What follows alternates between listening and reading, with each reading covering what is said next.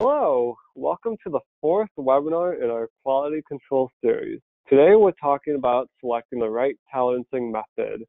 Once again, presenting is Tim Mouw, our Applications Engineering and Technical Support Manager at X-Rite Pantone. I'm Robert Grotans, the Global Technical Marketing Manager, and I'll be moderating today's webinar. If at any time during this webinar you have any questions, please feel free to use the questions form to submit your questions. We will be sure to follow up with you after the webinar. So with that, I'll turn it over to Tim to get things started.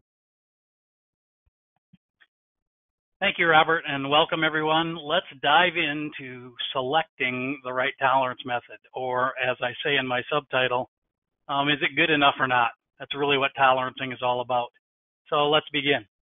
So tolerancing, a color color tolerancing can be done with a large variety of methods, and that may be prescribed to you um, depending on what it is you're making and your customers' requirements and so forth.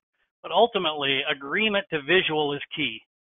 Um, we need to be able to validate that our color is going to look good.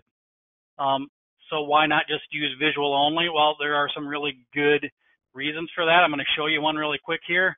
Um, in this picture, are A and B the same color? Well, every person who looks at that says there's no way those two um, squares labeled A and B are the same color, but the reality is that they really are the same color. Um, and the point we're trying to make here, it's really easy to fool our eyes. Um, and we've listed a number of things there. I'm not going to go through them all, but um, number of reasons that can fool our eyes into seeing color, um, maybe not uh, in agreement with reality. So our eyes have some limitations, but visual is still the ultimate method. Why? Because when we all go shopping um, for anything, whether it's a car or a can of soup, we look at color um, and we assess color, and so it's very important that the color is right. So visual is, is important, but there's other things we can do as well. So let's dive a little deeper.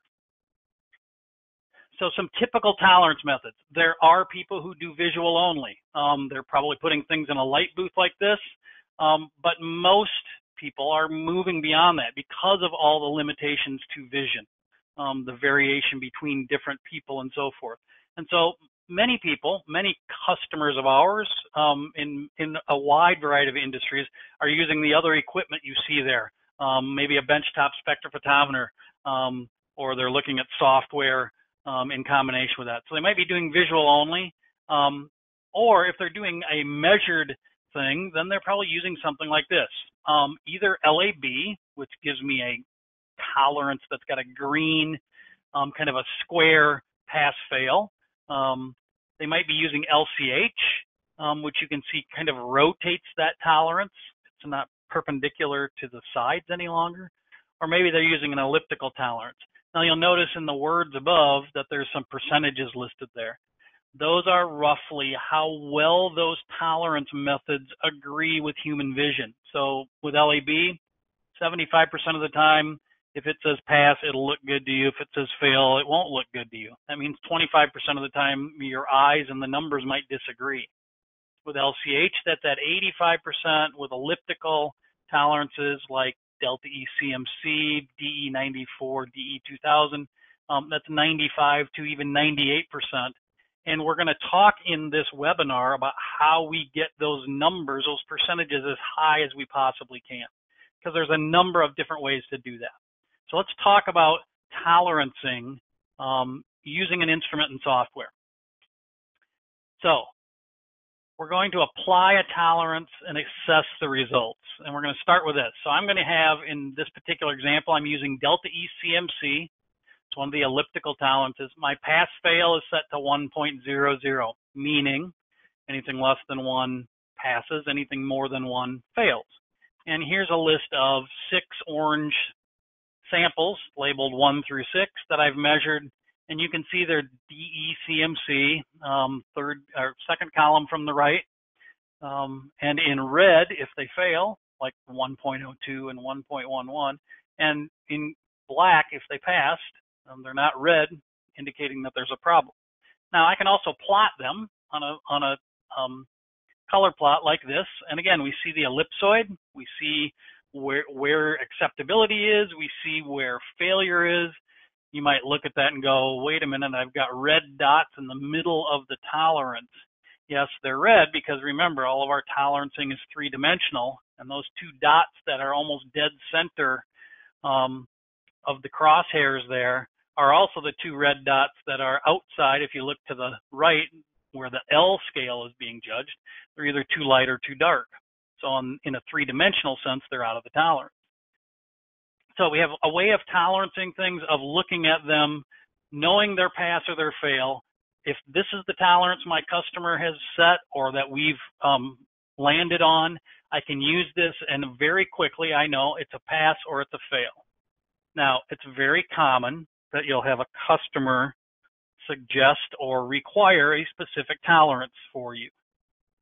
It's also common that you can find colors that might fall outside of the tolerance that even the customer will accept visually, um, or things that fall inside the tolerance that are inside the limits they specified for you, yet they still reject them because visually they're not acceptable. So both of those things happen, false positives and false negatives, if you will.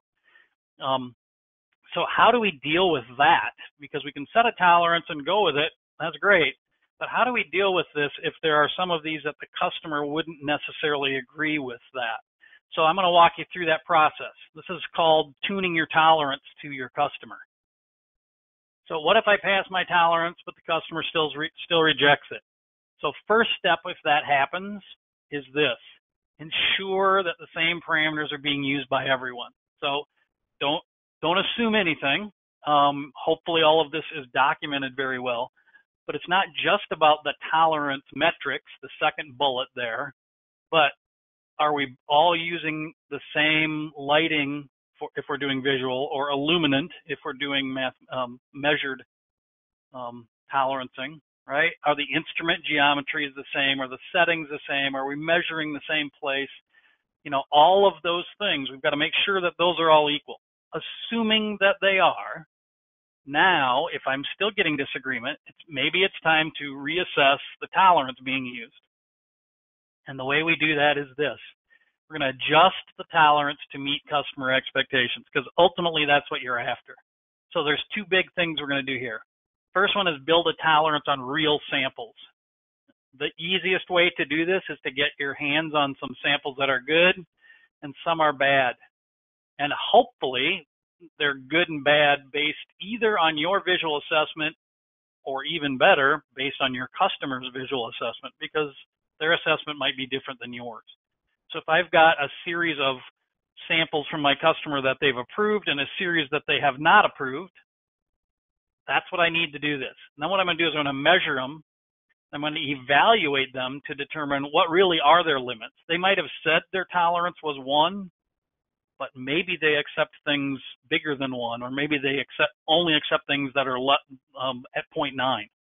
If I have samples that I know are good and bad, I can make this assessment. So here's how we do it. So we've measured them in. Okay, it's the same six samples we measured before, and we've got them sitting there. Now, let's assume in this example that the, the customer actually approved samples one and four. Sample 1 has a delta ECMC of 1.02. Sample 4 has a delta ECMC of 1.04. If they visually accepted those, then what happens if I simply come in here and change my tolerance from 1.0 to 1.05? Okay. Well, instantly those two things now pass. So I've adjusted my tolerance to get agreement with my customer. Now, granted, my sam- six samples here, probably not enough samples to be um, successful in doing this work, and maybe it's a bit oversimplified, and you won't always find a good clean break where everything under a certain number passes and everything over fails. You might find that you have two or three that are really close to each other numerically and one they like and one they don't like, but you can do this kind of work and adjust the size of your tolerance to agree with what looks good visually to your customer. That gets you closer and closer to always making sure that you're shipping quality product that will pass their, their tolerance. So that's the first thing we can do to help improve our agreement with customers and our success rate.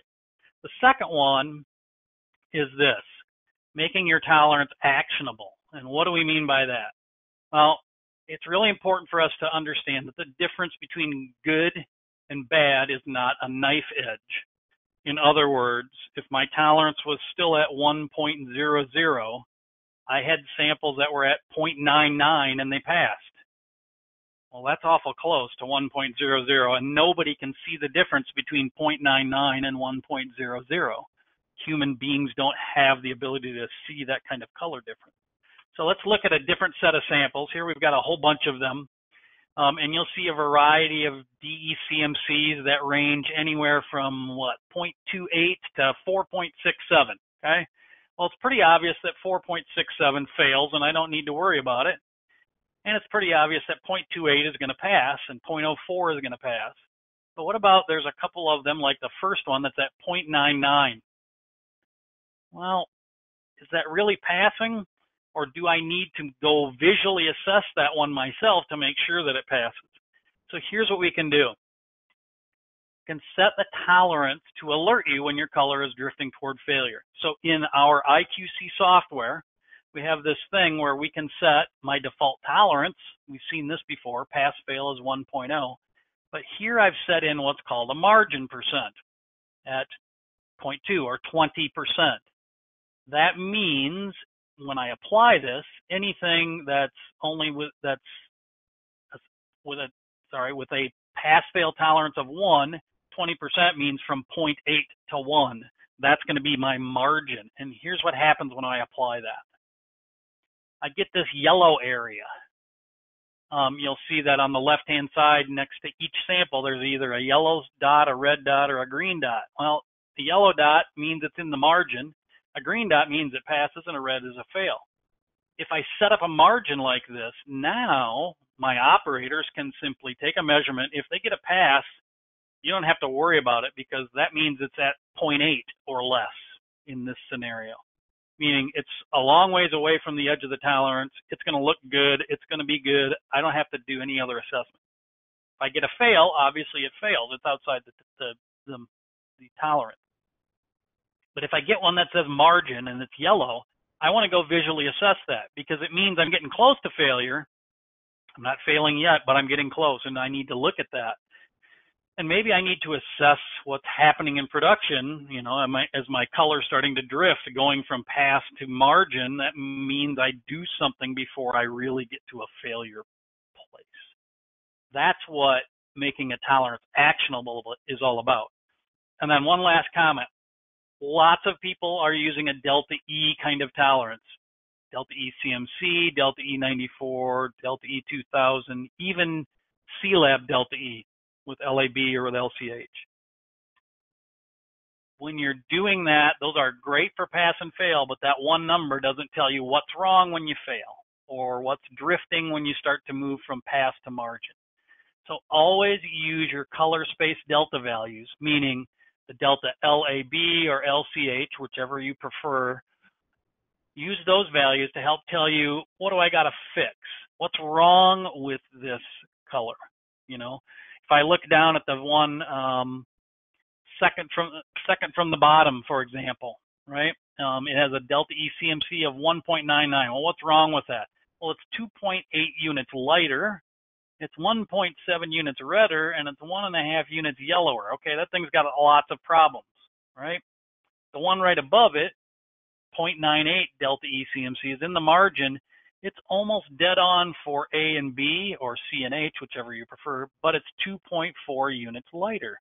Okay, I, if I have a means of darkening that sample slightly, I can make it much closer because it's almost all a lightness difference. That's why we want to focus on those delta values to help us know what should we fix. So to summarize what we've just gone through, tolerancing is about selecting a tolerance type that agrees with your customer's assessment of your products and meets their needs and create SOPs, written documentation of how you're going to do the tolerancing.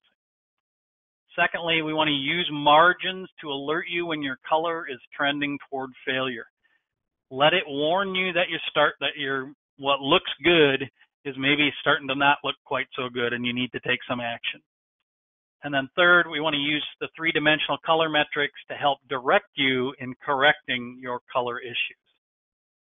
So that is our take on tolerancing for today. As Robert mentioned, we're going to um, give you just a bit of time here to use the questions panel. Um, if you have some questions, please feel free to post those questions in the question panel, and we will get back to you with answers just as quickly as we can. With that, we'll leave you a little time to ask any questions that you have, and thank you for your time.